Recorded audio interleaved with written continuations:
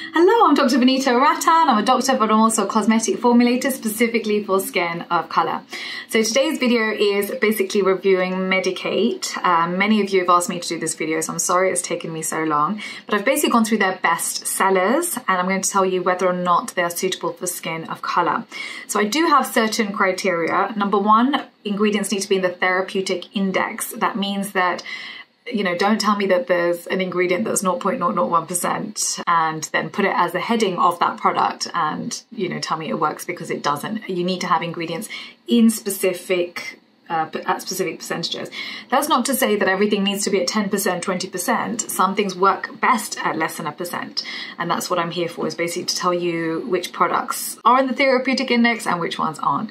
The second criteria for me is that the product is safe. That means no denatured alcohol, which can dry the skin because skin of color has less ceramides in our skin already. Our skin already dries faster than Caucasian skin and no fragrance because fragrance is the number one cause of contact dermatitis, which I'm sure you all know by now, and no essential oils because they sensitize the skin. So first of all, let's make sure not making any mistakes. And then the Second thing I move on to is how effective the product is. So what are the positives of the product and do they have any tyrosinase inhibitors? For us, that is a key ingredient because hyperpigmentation is a big issue for a lot of us and dull skin with age is also another issue. So actually tyrosinase inhibitors just should be part of our skincare full stop from 20 years old onwards. Okay, so let's start off with Crystal Retinal 1. That's their first product. Uh, so it was interesting because they had no INCI on their website. So INCI is the ingredients list on the website. So I had to go to another website, but it did say no artificial fragrance.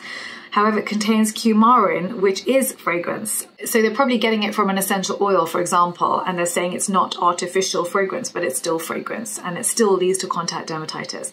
So this is the sort of marketing that I want you to be aware of is when someone says no added fragrance or no artificial fragrance. Sometimes it even says no fragrance and then you see an INCI it contains fragrance and if they're doing it because it's a marketing ploy, they're hoping that you're going to purchase based on the headline thing, no artificial fragrance. And honestly, if I didn't have time to read, I'd just assume that, you know, there's no fragrance in it because there's no artificial fragrance.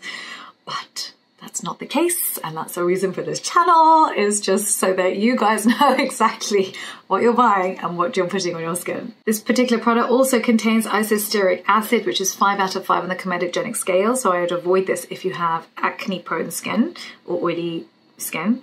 It's a shame because some of the other ingredients are excellent. Uh, so for example, the third ingredient here is glycerin, the 10th ingredient is vitamin E, which I love, and the 12th ingredient is squalene. What I would say is, if they made a fragrance-free version of this product, then I would approve it. It's 39 pounds. It is expensive. Retinaldehyde is expensive. So it's just something to be aware of. So for example, I did ask you guys. So when I made the antioxidant power serum, in here I put in retinol palmitate. That is the least irritating form of vitamin A. But my favorite form of vitamin A is actually retinaldehyde. It's actually very expensive. And it would mean that I'd have to increase the price of this from 18 pounds up to about 25 pounds.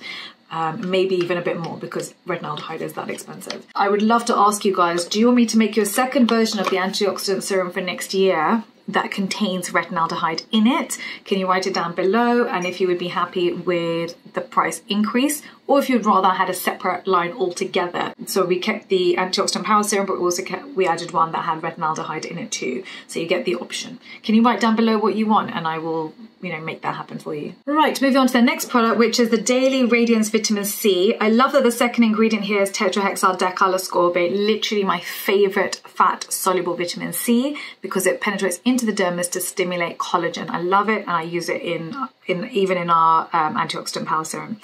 Um, plus, I love that this particular product is hydrating because they've got glycerin in it. However, they then just went completely off the rails because then they added citrus bergamia fruit oil, they added pelargonium flower oil, limonene, geraniol, linalool, citronellol, and citral. These, this product is loaded with essential oils and fragrance. Please avoid this product. It is just not worth it. Moving on to the next product, which is Medik8 Advanced Night Restore. So the first ingredient is water, which means it's going to be more of a serum. It's going to be a, or a thinner cream. The second ingredient here is squalene, which is an emollient, and it has ceramides in it. So, you know, so far I'm loving it. But then they added geraniol, limonene, linalool, lavandula, which is skin sensitizer. So these are all fragrances Plus, this really should be an airless packaging, um, or at least um, minimal oxygen around it because ceramides are unstable. So on this one, I would have to say avoid. Moving on to the next one is C Tetra. So I was excited by the headline because it contains tetrahexyldecyl ascorbate, which you know I absolutely love. The first ingredient here is Simmondsia oil. It's two out of five on the comedogenic scale. I love it, but I wouldn't recommend it for acne. It does contain silicones, which I love, tetrahexyldecyl ascorbate, of course, and vitamin E, both ingredients I love. They did try to stabilize it because they they have two uh, antioxidant serums, but really you would want a group of three or more. Um, and vitamin E isn't the most powerful antioxidant. It, it could be a better formula because product can be oxygenated and this is not in an airless pump so it has oxygen around it so I don't even know how effective the antioxidants are going to be because they get oxygenated in oxygen. Um, plus they added limonene, citral, linalool and geraniol. These are all fragrances. So for me, it's such a shame. If they put this honestly in the right packaging, airless pump, uh, maybe added two more antioxidants and deleted the fragrance, it would be a doctor approved product, but as it is, I would avoid it. Moving on to the next one, which is Hydr8 B5 Intense. So the third ingredient here is panthenol, which is an anti-inflammatory. The fourth ingredient is glycerin, which is a humectant, a water magnet. The fifth ingredient is sodium hyaluronate, which is also a water magnet. So I'm loving it so far. And it's NAIF safe, meaning no fragrance. Like at this point, I'm thinking a few, but it's 55 pounds. So the cost benefit of this product doesn't really add up to me. It's basically an anti-inflammatory humectant. I personally wouldn't spend £55 on this and I'd rather buy the ordinary um, hyaluronic acid. In fact, I've made a whole video for you on hyaluronic acid serums that I love for skin of colour. And I just would never spend £55 on on this. The reason is, for us, we need so many actives on our skin that if you put one full layer just on humectants, what about all the other ingredients we need? We need ceramides, we need peptides, we need um, tyrosinase inhibitors, we need anti-inflammatories. There's so much more that we need for our skin. We need niacinamide. Where is that all going to happen if one full layer is just on humectants and then actually the second and third layers don't really penetrate the skin as effectively and especially for 55 pounds I really know just this one you can buy it if you want but it's you know wouldn't be wouldn't be my favorite Moving on to the next one, which is liquid peptides. I love that it's NAIF safe, so that's excellent. The second ingredient here is glycerin. Uh, it does contain anti-inflammatories and humectants, which I love.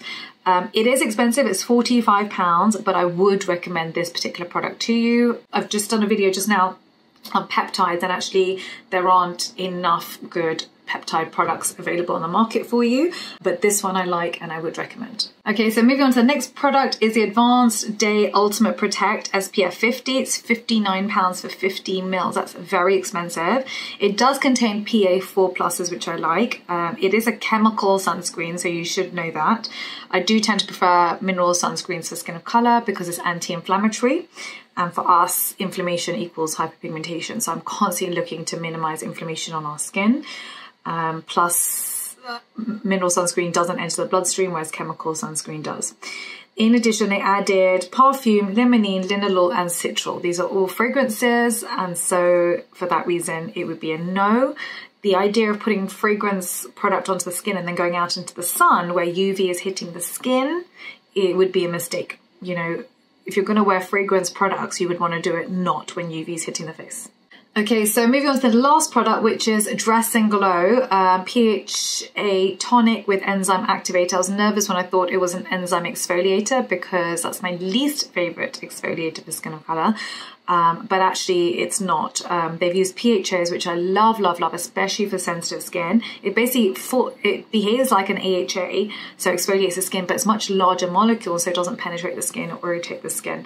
So I love it, and I'd recommend it, and it's very hydrating. Um, in fact, I use PHAs in our body exfoliator balm that I will be manufacturing next year for you um, but it's one that I would recommend. And pH is just generally in products that you purchase from now on. I love it um, as part of your exfoliating routine. If you want to learn more about ingredients that are suitable for skin of color, please do purchase your Skin Revolution book uh, from Amazon. It's been this is a book that I wrote and published with HarperCollins.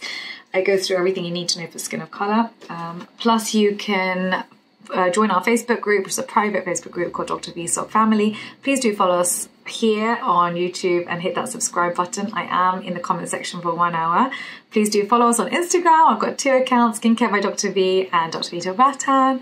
Also on TikTok, which is also Dr. Vanita Rattan too. If you want to shop any of the products that have been formulated specifically for skin of color, you can do. The link is down below. It's Skincare by Dr. V. Thank you so much for watching and I will see you next time. Bye.